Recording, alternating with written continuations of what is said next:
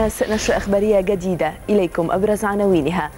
معهد واشنطن تعليق المساعدات لمصر إضرار بالمصالح الأمريكية. موقع فرنسي القاهرة سددت أول أقساط رافال والصفقة دخلت حيز التنفيذ.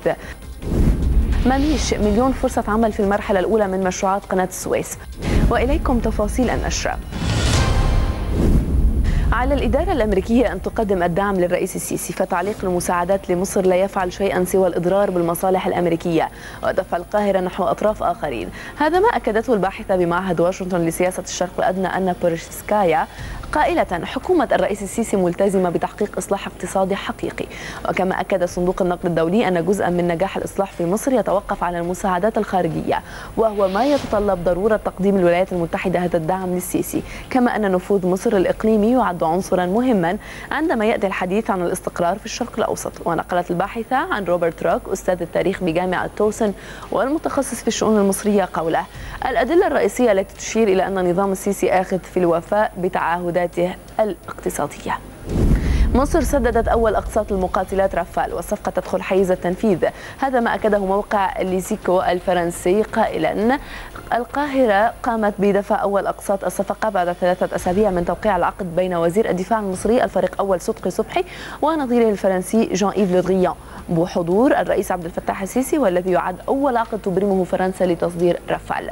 مشيرة إلى أن رئيس شركة داسو إريك تخابيه أعلن خلال زيارة الرئيس الفرنسي فرانسوا أولاند للمصنع أن مصر كان يجب عليها دفع نصف المبلغ والنصف الآخر سيتم تمويله عن طريق الائتمان موضحا ثقته من أن مصر ستقوم بدفع الأموال المستحقة. مليون فرصة عمل في المرحلة الأولى من مشروعات قناة السويس. هذا ما أعلنه الفريق مهاب مميش رئيس هيئة قناة السويس قائلا خلال الزيارة التي قام بها وفد حركة تمرد للترويج للمؤتمر الاقتصادي أن مشروعي تنمية محور قناة السويس وحفر قناة السويس الجديدة سيتبعهما مشروعات قومية عملاقة توفر مليون فرصة عمل للشباب في مرحلتها الأولى. مشيرا إلى أن فرص العمل ستكون متاحة في جميع التخصصات وسيتم رفع مستوى العمالة في منطقة القناة بعد مؤتمر مارس الاقتصادي. موضحا أن قناة السويس تستعد لعملية النمو التي تشهدها دولتي الصين والهند وتوسع حركة التجارة العالمية. تمكن أفراد الأمن الإداري في جامعة الأزهر بمدينة نصر فرع البنات من ضبط معيدة بكلية العلوم بالجامعة برفقة زوجها أثناء دخولهما إلى الحرم الجامعي وبحوزتهما كميات كبيرة من الشماريخ والقنابل البدائية وعدد من الصواريخ داخل سيارتها. وأوضح أحد أفراد الأمن الإداري أن المعيدة أنكرت صحبتها لهذه الممنوعات وادعت أنها تخص حماتها وأنها لا تعرف عنها شيئا. من جانبه قرر دكتور عبد الحي عزب رئيس جامعة الأزهر إيقاف المعيدة واتخاذ الإجراءات القانونية ضدها.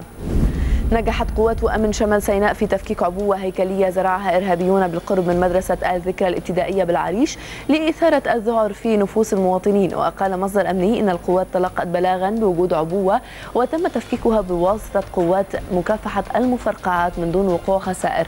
وكان إرهابيون قد أطلقوا النار في ساعة مبكرة صباح الأربعاء على كمين أمني بمنطقة البراهيم برفح ما أدى إلى استشهاد النقيب أيمن فؤاد.